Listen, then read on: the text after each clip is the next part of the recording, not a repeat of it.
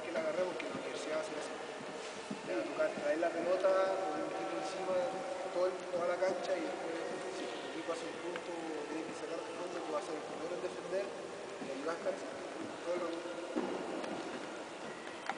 ¿Tuviste dificultad en esa parte? eh, al principio sí. ¿No tuviste ningún problema para, para meterte en el esquema eh, O sea, si me preguntáis ahora, ahora no me acuerdo por nada. Igual tienen, no sé, una ciudad que se juega con el 5 abierto y sería. Te vienen y te dan una, una carpeta con 25 jugadas. Y unos 10 aquí de